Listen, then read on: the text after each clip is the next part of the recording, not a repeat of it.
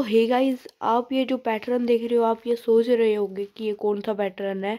सो ये है cube in cube pattern इस पैटर्न को मैंने मिरर क्यूब में बना रखा है, तभी आपको ऐसा लग रहा है।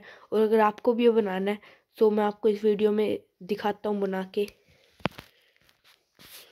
सो गाइस मैंने मेरे मिरर क्यूब को सोल्व कर लिया है। चलिए अब उस पैटर्न को बनाने स्टार्ट करते हैं।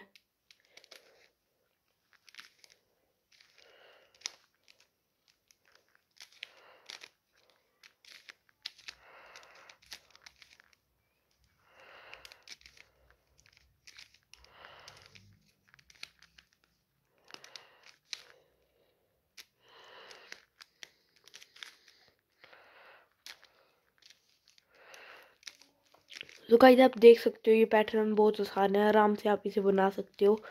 और ये मिरर क्यूब में अलग ही लुक देता है। सो गाइस अगर आपको ये वीडियो अच्छी लगी हो तो मेरे चैनल को सब्सक्राइब और इस वीडियो को लाइक ज़रूर से करना।